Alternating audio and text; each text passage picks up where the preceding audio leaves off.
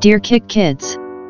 In the rugged and remote terrains of Afghanistan, where access to education has been an enduring challenge due to conflict and geographical constraints, an unexpected initiative emerged, the Taliban's Wi-Fi projector education system. This unique endeavor, born out of necessity and driven by an evolving worldview, sought to provide education to the children of war-torn regions. As unconventional as it may sound, this story highlights how even in the midst of adversity, innovation and adaptation can pave the way for positive change. The roots of the Taliban's Wi-Fi projector education system can be traced back to the turbulent history of Afghanistan. The nation had long been grappling with political instability, military conflict, and restricted access to education, particularly for girls. However, amidst these challenges, the Taliban began to recognize the power of education in shaping minds and molding future generations. As their stance softened over time, a new chapter began to unfold. With the rise of technology, especially the proliferation of smartphones, the Taliban saw an opportunity to bridge the educational gap.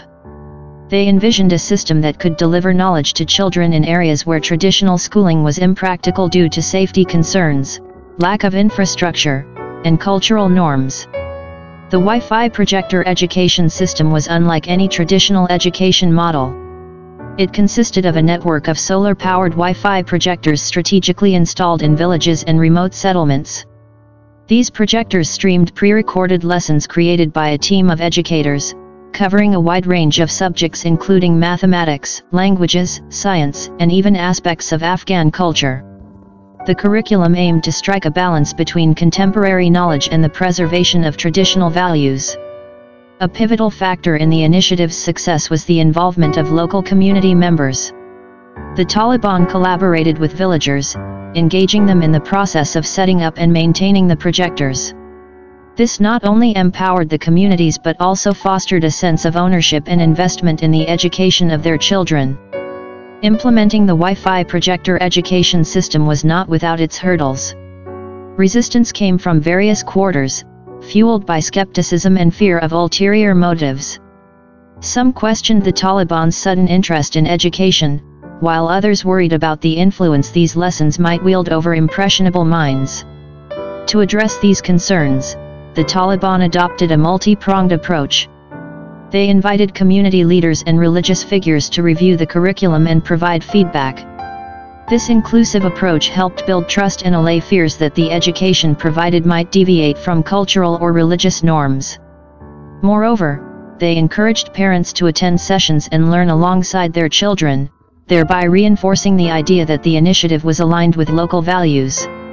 Over time, the Wi-Fi projector education system began to yield transformative outcomes.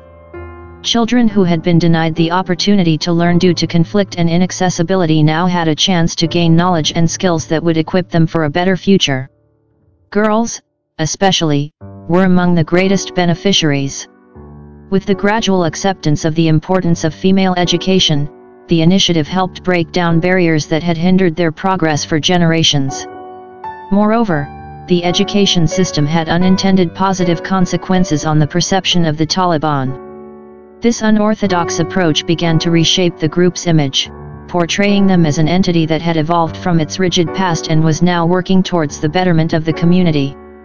While the Wi-Fi projector education system marked a significant step towards improving education in Afghanistan, it still faced challenges. The sustainability of the initiative depended on the continued support and collaboration of the Taliban, as well as the global community. Questions arose about the project's long-term viability, especially as geopolitical dynamics and internal politics remained unpredictable. Additionally, the international perception of the initiative was a double-edged sword. While some applauded the Taliban for embracing innovation and recognizing the value of education, others remained skeptical, viewing it as a mere propaganda tool. Balancing these perceptions while staying true to their goals became another challenge that the Taliban had to navigate. The story of the Taliban's Wi-Fi projector education system is one of paradoxes. It emerged from an organization with a history of opposing education and modernity, yet it showcased adaptability and innovation. It aimed to fill the educational void left by conflict and remoteness, yet it encountered resistance due to deep-seated suspicions. It changed the lives of children, particularly girls, while challenging the world's perception of the Taliban. In the end, this initiative highlighted the power of education to transform lives, even in the most unlikely circumstances. It demonstrated that even amidst adversity, when the intent is genuine and the approach is inclusive, positive change is possible. As the projector beams of knowledge illuminated the minds of Afghanistan's next generation, they also illuminated a new path for the country one where innovation and education could overcome the barriers of tradition and conflict. Title, Empowerment Through Innovation, The Tale of Taliban's Modern Technological Homeschooling System for Women's Education. In a region marked by centuries of tradition, the Taliban's unexpected foray into modern technological education systems brought a ray of hope to the women of Afghanistan. The narrative of the Taliban's modern homeschooling initiative unfolds as a paradoxical tale, reflecting both the group's evolution and the resilience of Afghan women in their pursuit of education, empowerment, and change. For decades, the Taliban had been synonymous with oppressive policies against women's education. However, the winds of change began to blow as the group started realizing the potential of education to reshape its image and the nation's future. A gradual shift in ideology saw the Taliban acknowledging the importance of educating women, a transformation both surprising and unprecedented. Intriguingly, the Taliban chose a modern technological approach to enable women's education. Recognizing that traditional schooling was fraught with security and societal challenges, they embarked on a journey to establish a homeschooling system that would provide education within the confines of Afghan homes. The Taliban's modern homeschooling system centered on a blend of technology, tailored curriculum, and community engagement. It began with the distribution of smartphones and tablets, devices that would serve as windows to the world of knowledge. These devices came preloaded with educational applications, online resources, and interactive lessons covering subjects ranging from mathematics and science to languages and vocational skills. Key to the initiative's success was its adaptability to Afghan cultural norms. The curriculum was carefully curated to integrate modern education with values that respected Afghan traditions. The aim was to create a balanced educational experience that nurtured critical thinking while upholding cultural heritage.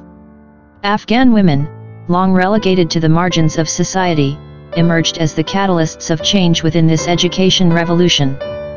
The Taliban recognized that by empowering women with education, they were fostering a generation of informed mothers, daughters, and sisters who could contribute positively to their families and communities. Education was viewed as a means to rebuild the nation from within, by nurturing a new generation of leaders, entrepreneurs, and problem solvers. Women across the country embraced the opportunities the homeschooling system provided.